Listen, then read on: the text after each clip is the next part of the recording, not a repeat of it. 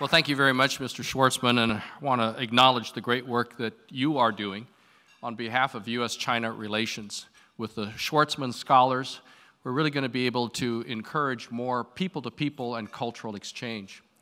Former Prime Minister uh, Tony Blair once said that diplomacy first starts with people to people exchange.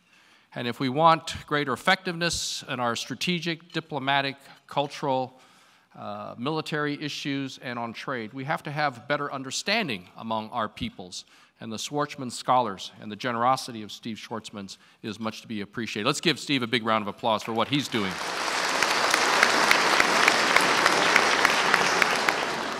It's great to see so many friends here, uh, people that I've served with in the Obama administration, uh, Secretary Pritzker, Mike Froman, and others, also former cabinet members, uh, Norm Mineta, former uh, uh, Commerce Secretary under President Clinton and Transportation Secretary under uh, President Bush, along with Secretary Cohen. it's great to have so many friends of China here. And I want to welcome Vice Premier Wang Yang, uh, to uh, this last JCCT session under President Obama. And also want to thank the China General Chamber of Commerce USA for hosting today's luncheon. China's transformation uh, over the last several decades is perhaps the most dramatic the world has ever seen in terms of uh, an, a civilization that's one of the world's oldest and yet at the same time one of its most modern.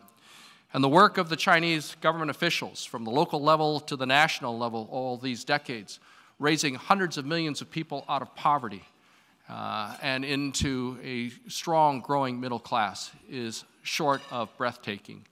And we compliment all those Chinese leaders for all that they have done for, on behalf of the people of China and people around the world. It's been more than 40 years since Nixon first went to China, more than 30 years since diplomatic relations were resumed. And in that period of time, trade between our two countries has grown astronomically from less than 100 million a year when President Nixon first traveled to China to now $1.5 billion of trade each day between our two countries, with millions and millions of jobs on both sides dependent on that trade. China is already America's number one export destination for our agricultural sector. And there's, with the growing Chinese middle class, means greater demand for those made in USA goods and services, which means jobs for the American people. China obviously has clearly benefited from uh, trade and open markets and with its accession to the WTO. But as we've seen in Europe with the Brexit vote and even our own recent elections, there's a growing isolationism and indeed opposition and fear about trade throughout the world. It's incumbent upon all of us to demonstrate the benefits of trade and to help those who have been adversely affected by trade. And it's critical that trade agreements uh, be faithfully and expeditiously implemented and that promises of open markets, fair competition, and non-discrimination be kept and be implemented.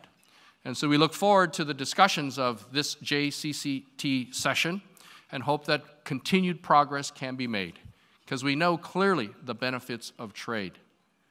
With 95% of the world's consumers living outside the United States, American companies have to look outside America in terms of markets to bring the benefits of American technology, ingenuity, and products to people around the world, and at the same time creating good paying jobs for Americans. And that's clearly a win win benefit of trade. But we also have to recognize that some people are suspicious of trade and have not been benefited by trade, and we need to help those. So let me just say that uh, we welcome uh, the Vice Premier uh, and his entire delegation. And again, we compliment you and all of your government leaders and people in business in China for all that they've done to raise the standard of living for the people of China. What you've accomplished would have been very, very difficult to accomplish here in countries uh, of the West. And so we are very, very appreciative of what you have done. And we're very grateful of the growing relationship between China and the United States on so many different issues, whether it's medical research, whether it's on reducing the threat of nuclear weapons and the proliferation of nuclear weapons, to uh, uh, finding cures for cancer, and of course, working on climate change.